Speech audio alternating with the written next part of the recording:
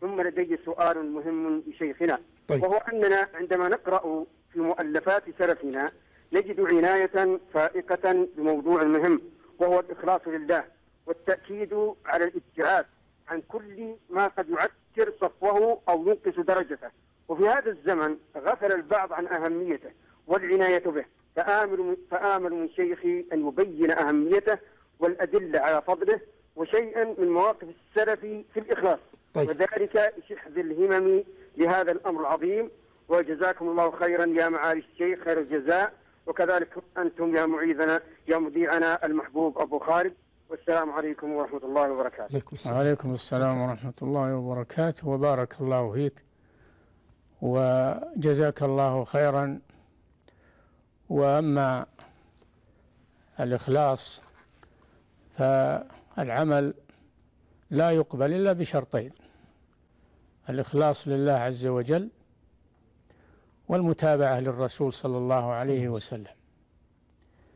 فإذا توفر الشرطان في العمل فإنه يقبل بإذن الله وإذا اختل أو اختل واحد منهما فإن العمل لا يقبل.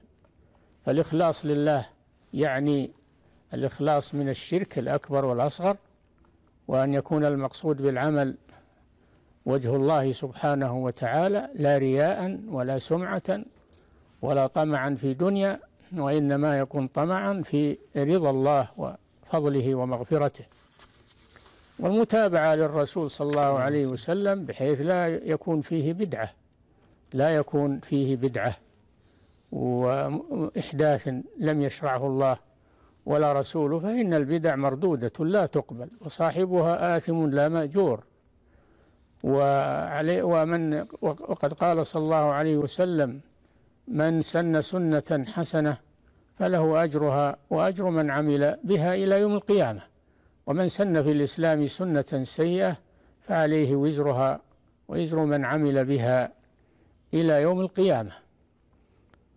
والله جل وعلا قال آه وقالوا لن يدخل الجنة يعني اليهود والنصارى. قالوا لن يدخل الجنة إلا من كان هودا أو نصارى.